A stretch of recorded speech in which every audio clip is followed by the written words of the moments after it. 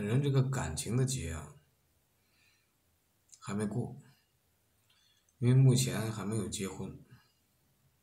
人生嘛，总得结婚生子、成家立业，才完整，才对得起老祖宗这个传统。所以说，心里啊，始终是埋藏着这个种子。先前呢，正式谈的只有一个，但其他的。遇到的要么就是 物质方面啊很差，要么就是很有钱，啊有上海三套房的，有这个在国外混血儿啊串种，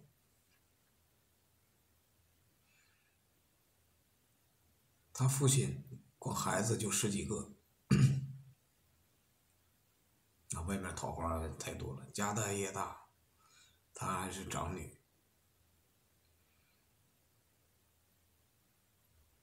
他父亲靠派保镖监视他的日常。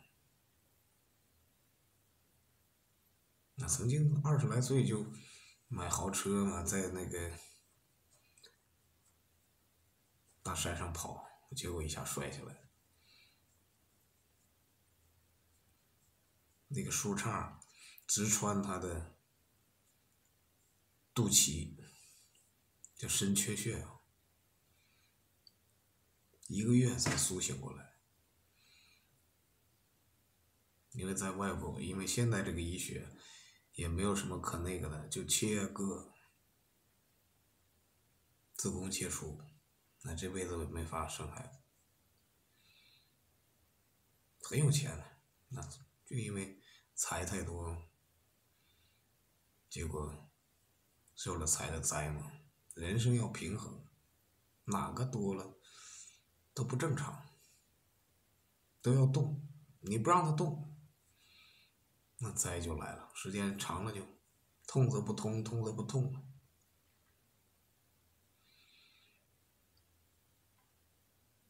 而且他本人还是修行人。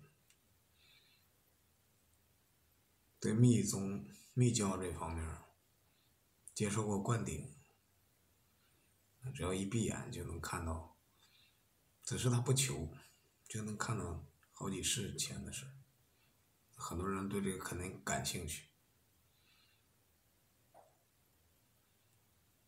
我们三世前都有这个情缘，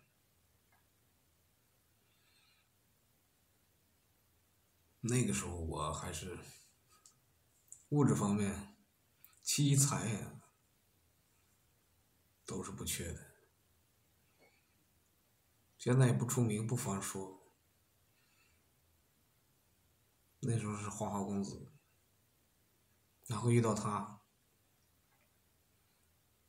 说：“啊，我要你，别人都可以不要，三界四界都抛弃。”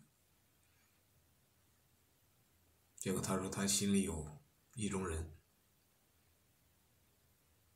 哎，要不然能不能成全他？我说既然这样，那就爱不就是为了让他幸福吗？那就成全你吧。结果这一世，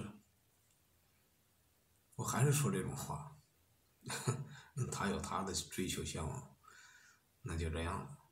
实际上是不是真的是这样的？那那个人。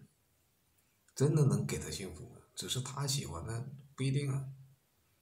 而且女的本来应该被动了，但不管怎么样，这事儿都过去了，心也放下了，啊，他还是执着他的，很顽固。